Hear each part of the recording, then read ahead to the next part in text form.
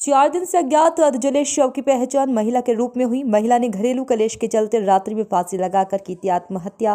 पति ने घबराकर शव को अपने पिता के साथ घर से कुछ दूरी पर रात्रि में ही डीजल और खतपतवार से पत्नी के शव को जलाया। महिला का पति गिरफ़्तार, महिला का ससुर फरार। महिला के शव को बेटे से कराया जाएगा DNA test. SSG Sanjay Kumar Verma ने प्रेस कॉन्फ्रेंस कर मामले का क्या खुलासा खुलासा करने वाली पुलिस टीम को। एसएसपी ने पंद्रह हज़ार का दिया इनाम।